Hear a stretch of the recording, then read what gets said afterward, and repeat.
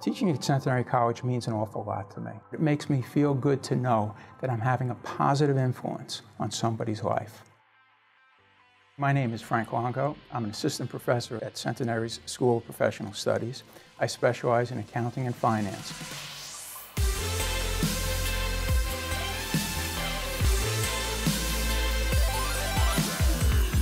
What appealed to me with Centenary's adult program is that I could take the classes in the evening and that I could complete my degree within two years. My name is Emily. I'm a technical sergeant in the United States Air Force, and I'm a mother of two children, Hannah, who's 10, and Evelyn's 5.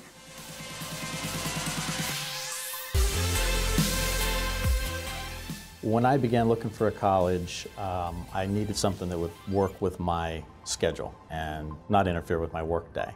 I'm Rick Weisler. I'm the Director of Engineering for QuickChek Corporation in Whitehouse Station, New Jersey.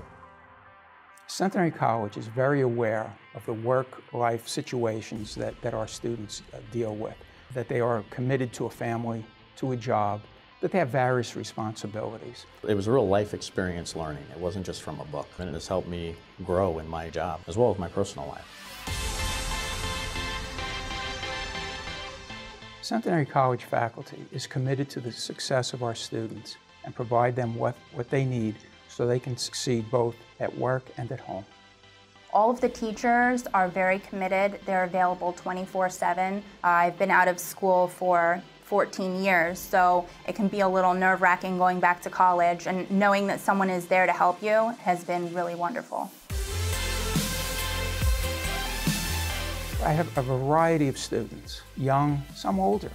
I have many students who tell me that they sit next to their teenage children and they do their homework together.